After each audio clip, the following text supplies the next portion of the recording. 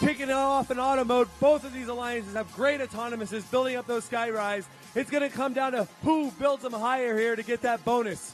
It looks like blue is done building over there. Red's still going. They're at four. They're going for five. They get it. Red wins the autonomous bonus. Teleoperated control kicking off in three, two, one, go. Blue making up for the lost autonomous skyrise building by catching up right away. T-Vex job doing what they were picked to do, and that's to build a skyrise.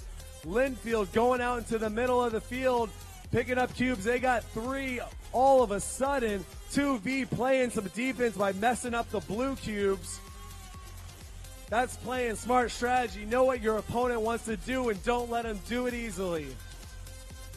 52-25A, the Pilons do a double dunk on a goal, taking control. Right now, Red has more goals owned than Blue does.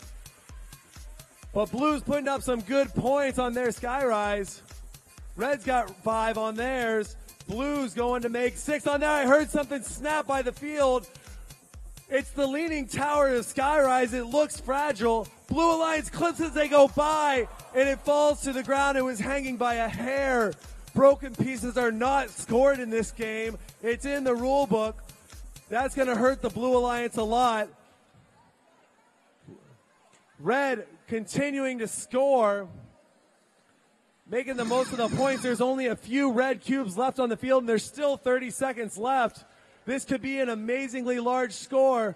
Unfortunately for the Blue Alliance, there was a pylon cracking after they ran into the, to the stack and it fell down.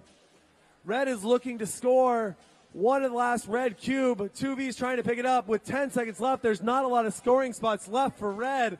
The scores are going to be high in this match. Three, two, every red cube is scored on the field. That's incredible.